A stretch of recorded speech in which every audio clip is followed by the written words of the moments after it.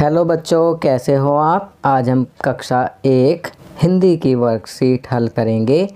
उपविषय लालू और पीलू। तो चलिए वर्कशीट हल करते हैं। प्रश्न एक, मुर्गी के कितने चूजे थे? तो यहाँ पर हम ख पे सही का निशान लगाएँगे। दो। चलिए अगला प्रश्न करते हैं। प्रश्न दो, चूजों के क्या नाम थे? तो यहाँ पर हम ख पे सही का निशान लगाएँगे, लालू व पीलू। चलिए, अगला प्रश्न करते हैं। प्रश्न तीन, लालू किस रंग की चीज़ें खाता था? तो यहाँ हम लिखेंगे लाल। प्रश्न चार, पीलू किस रंग की चीज़ें खाता था? तो यहाँ हम लिखेंगे पीली।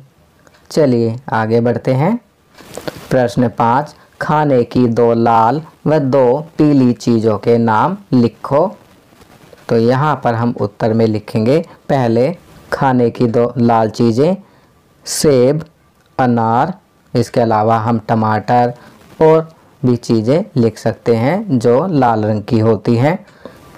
अब हम खाने की दो पीली चीज़ें लिखेंगे, नींबू, केला, इसके अलावा लिख सकते हैं लड्डू इत्यादि। चलिए, आगे बढ़ते हैं। कोरोना जागरूकता अभियान। कोरोना से बचाव के लिए पहला हमेशा फेस मास्क पहने, दूसरा हाथों को साबुन व पानी से बार बार धोते रहें, तीसरा भीड़ भाड़ वाली जगहों से बचें व सामाजिक दूरी बनाए रखें। तो बच्चों ये वर्कशीट यहाँ कंप्लीट होती है। अगर यह वीडियो आपको अच्छी लगी तो इसे लाइक एंड शेयर ज़रूर करें।